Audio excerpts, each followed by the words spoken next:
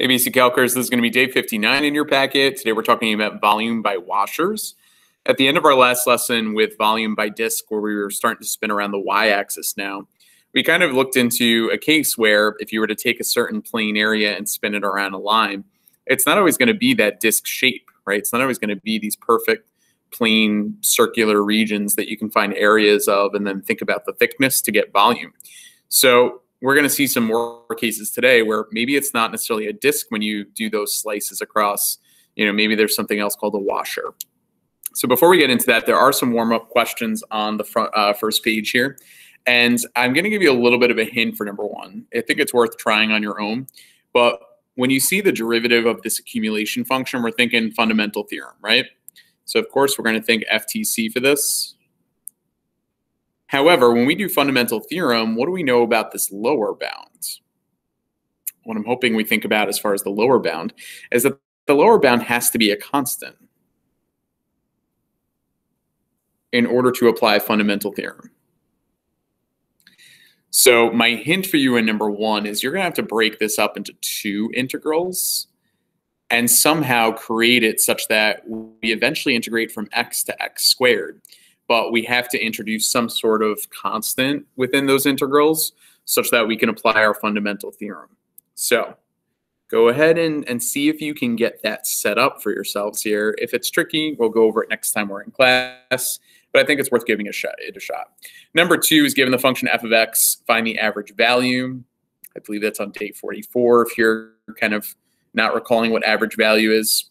And then find f prime of 3 fourths which will lead you to the equation of the tangent line at x equals 3 fourths. So give that one a shot as well. We'll go over this entire first page next time we are in class together. Before we get into volume by washer, let's do a quick review question. Find the area bounded by y equals ln x and y equals x minus 5. So I'm going to use my calculator in a moment to double check and confirm what I know about the graph here. But I'm going to make a quick sketch before I do that of ln x. So ln x would look something like this, right? It has an x-intercept at 0, 1, or 1, 0, I should say. And then we're going to get our line y equals x minus 5 to come through and intersect in two locations, here and here. And the area between these two curves were nicely set up to integrate with respect to x here, right? If I draw a vertical rectangle right here, we can see that the area would always be the top curve ln x minus our bottom curve of x minus 5. So what we're going to have to decide, since we're integrating with respect to x, are what are these bounds along the x-axis at those intersection points? So we have to kind of decide what those are in a second. For now, I'll call them a and b. Okay, so we're going to integrate from a to b. Uh, like we said, hey, the top function is always ln x minus the bottom function, x minus 5. And we're integrating with respect to x. Once I find those bounds of integration, you know, I, I'll save them on the calculator. They're not necessarily going to be nice whole numbers or nice integer values. And beyond that, we don't know how to find the antiderivative of ln x either. So I'm going to store ln x in y1, and, and I'll put x minus 5 in y2.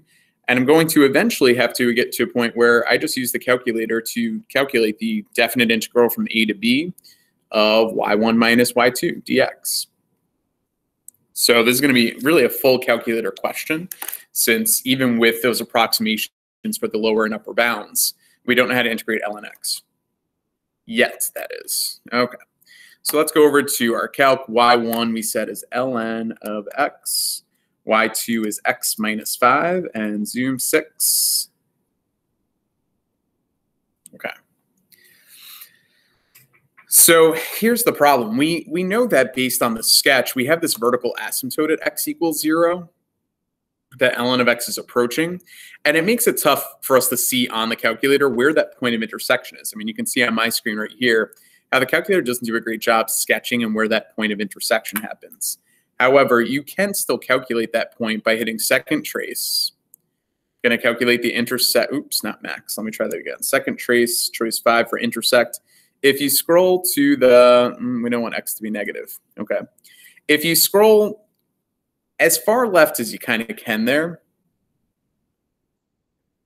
I don't want to, you know, go to the negative side of the x-axis, but if I hit enter, it doesn't look like I'm calculating a point of intersection, but it did just jump to the second curve, hit enter again, and then if you hit enter for the guess, even though we really can't see because this x value is so tiny, it's 0.007 approximately. All right, that's your lower bounds. That's where the function ln x and x minus 5 would intersect. So this is just for our knowledge, 0.007. But we don't even necessarily need that approximation. We're not going to type that in as the lower bound anyway. If you quit the graph for a moment, why don't we do our trick of doing x, store that in a, and it will store that lower bound of 0.007 in a for us. Go back to the graph, calculate this other point of intersection, second trace, choice five. The other point of intersection is approximately one, two, three, 6.937 there. So it's nice to, I guess, know those approximate values along the x-axis there, but at the end of the day, I'm just going to store that as b. So if I quit and then I do x, store that as b, we now have our value of b set as 6.937. And therefore, to find the area between these two curves, ln x and x minus 5, we're going to do math 9, the definite integral from a to b of, and you could retype ln x minus the quantity x minus 5, but we have that in y1, y2. So we can do alpha trace y1 minus alpha trace y2 with respect to x, and we get the area between those two curves. It's really thinking here. 17.1298. So we'll go to 17.130 as that area. Okay. So I think this is a kind of a good recap of just thinking in terms of being able to find those points of intersection. The graph does a little bit of a tough job showing us that it's approaching the vertical asymptote but have no fear. We can still get these points of intersection, save them as A and B. And then this will be the most accurate representation of that area without having to round anything too early. All right. So before we get into our new technique of finding volume by washers, let's take a look at just a quick recap of what we've done so far. So far, what we've been doing is we've been taking plane areas and rotating them around the x-axis or rotating around the y-axis. But one thing that's kind of important to note here is when we draw rectangles, like I drew a rectangle up here, the rectangles are perpendicular to the axis that we're rotating around, right? So we're finding this rectangle right here. Okay, and if I spin that around the x-axis, we get kind of the plane surface out front is that circle. And then the delta x is the thickness of that. So if we find the volume of each of those pieces along the way, find the sum of all of them. It's the integral from A to B of the area of those circles.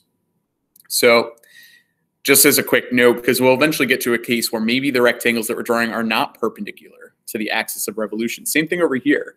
You know, if I were to draw a rectangle and spin it around the axis, the, this horizontal rectangle, when we're doing a dy example, when I spin it around this way, this horizontal rectangle is perpendicular to the axis of rotation. Well, I'll tell you that's still going to be true for examples where we're doing washers. Let's see why the next example is going to be a washer. So it says rotate the area bound by x plus 1, y equals 1, and x equals 1 around the x-axis, and then find the volume of the resulting solid. So let's sketch a picture here.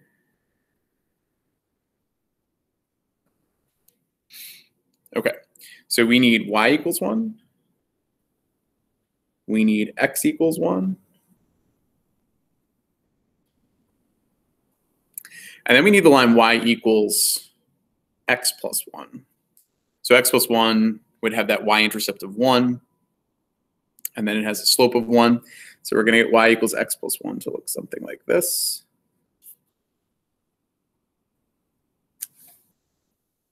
Okay. So the area of the region that we're going to rotate around the x-axis is the region bound by this diagonal line, x equals 1 and y equals 1. It's this region right here. Okay, we're going to take that and we're going to spin it around the x-axis. Okay. So when I do that, we can picture maybe that we would have a matching region. Sorry, I have to turn my paper sideways for a moment here. All right. We're going to kind of get that matching triangular region down here. And if I were to sort of slice off a piece in the middle somewhere, what would that resulting cross section look like? Well, it's not going to quite be a disk because we have all this empty space in the middle, don't we? So if I draw one slice, you're going to get something that looks like this. Okay, hence why we call this the washer technique. So I can try and give this a little bit of a three-dimensional look. It's a little bit tough to do the shading here to make it look like it's three-dimensional. I'm sure we have much better artists out there than I am. But so we get this kind of washer effect. So it has a certain thickness. And the way that we're going to wind up calculating the area, which when we calculate that area times the thickness and we integrate, we're going to get the volume of this region that's being revolved around the x-axis, is we need to take, for area, we need the area of this shaded part right here. So we're going to have to take the radius from here to the line x plus 1, and we're going to subtract the radius of kind of the inside part of the washer. So the way that you're going to generate the formula for a washer is it's going to be in general pi times your lower bound to your upper bound, kind of the larger radius squared, I'll call that r1 squared, minus the second radius squared. And in this case, it's a dx example. All right. What are the bounds of integration? The bounds of integration are we're going from 0 to x equals 1. So it's going to be pi from 0 to 1.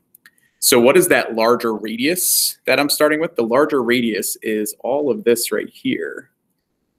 So the larger radius is up to the function x plus 1. So it's going to wind up being x plus 1 squared. Okay, that would be the radius at any point along the line x plus 1. And the smaller of my radii is kind of nice because no matter where I am and I draw the washer, the smaller radius is always going to be just a length of, of constantly one. So you would technically subtract one squared there. Okay, and this integral right here of our areas times the thickness is going to wind up generating the volume of this solid as I rotate it around the x-axis. So maybe a little bit longer to get used to when we're talking about setting this up for a washer, but the main difference is we don't just have one radius here. To get the radius of the shaded region, you're going to take the big radius minus the small radius, and we know that we're squaring those to find the shaded area in between. All right, so if I clean this up a little bit, it's going to be pi from 0 to 1 of, that's going to be x squared plus 2x. You're going to get a plus 1 minus 1, which will cancel out, which is nice here, so that this way we can find the value of that integral pretty easily. It's going to be pi, if I use anti-power, x cubed over 3 plus x squared from 0 to 1, which would be pi of one third plus 1. Plug in 0 as the lower bound, you just get minus 0 there. So 1 plus a third is 4 thirds. So 4 pi over 3 cubic units okay, is what we get as the volume of that region when it's rotated around the x-axis. Okay. So a lot more washer methods come now that we see what this is going to look like when when that plane region isn't attached to the axis of revolution. You're going to get this case where you have to take the larger of our radii, subtract the smaller radius, and that's going to give you that shaded area that we're rotating around the axis there. Okay, let's do one more example. This is going to be a, an example where we rotate around the y-axis. You'll notice that it is kind of nicely set up such that we have x in terms of y, which is needed to rotate around the y-axis. All right, what do we have? We have the volume generated by revolving around the y-axis, this region that's bounded by these two curves. So x equals y squared. Hopefully you know that that's a sideways parabola. If not, you can think, it as, think of it as y equals plus or minus the square root of x. Okay, so that's going to look something like this, where we have radical x and negative radical x, okay, or y squared, just thinking of that as a parabola that opens up to the right. And then x equals 2 minus y squared, if you get y alone and think about plus or minus the square root there. It is also a sideways parabola, but it's going to open up to the left. And it winds up opening up and kind of having a vertex here at 2, 0, okay, using some properties that we know about parabolas. So it's going to look something like this. And we'll try and draw that matching piece below. So the area that we're trying to spin around the y-axis here is this area right here. All right. So we're taking some rectangles that would be drawn horizontally in this case and spinning those around the y-axis. So we're going to spin this way. Okay. And what that's going to result in is you're going to kind of get this matching area over here, right? This and this. Such that when you draw a cross section or a slice across, you're going to get this washer shape like this. So we get this, and then you get this little empty piece in the middle that we're going to have to subtract that area out. Okay, so there's what my washer would look like. Okay. Takes a while to get used to drawing the pictures, by the way, so have no fear if that's something you think you're going to struggle with. All right, now that I have the picture set, when we integrate with respect to y, we need bounds along the y-axis. So what we need to do to find this area is figure out what are the bounds of integration, where do those intersect along the y-axis. So we can find that by setting our function y squared equal to 2 minus y squared, since these both equal x. So add the y squared over, 2y squared equals 2, so y squared would be 1, so y would equal plus or minus 1 if we take the square root of both sides. Okay. So you have a few options here because of the symmetry that we have, since the area above is the same as the area below the x-axis because of the nature of these two curves. Instead of integrating from negative 1 to 1, you could integrate from 0 to 1, if you like that a little bit better, and then double that. So just to kind of play devil's advocate here, just to show you that this might be a technique you want to consider moving forward, I'm going to write my integral as the bounds from 0 to 1 but I'm going to double that because we're saying the area up here would be the same as the area down here. So you can do 2 times pi times the difference in your radii squared, right? Or you could do your bounds from negative 1 to 1 and then leave this as just pi. So we'll kind of double check in the end that if I integrate from negative 1 to 1, that I should get the same answer as if I double from 0 to 1.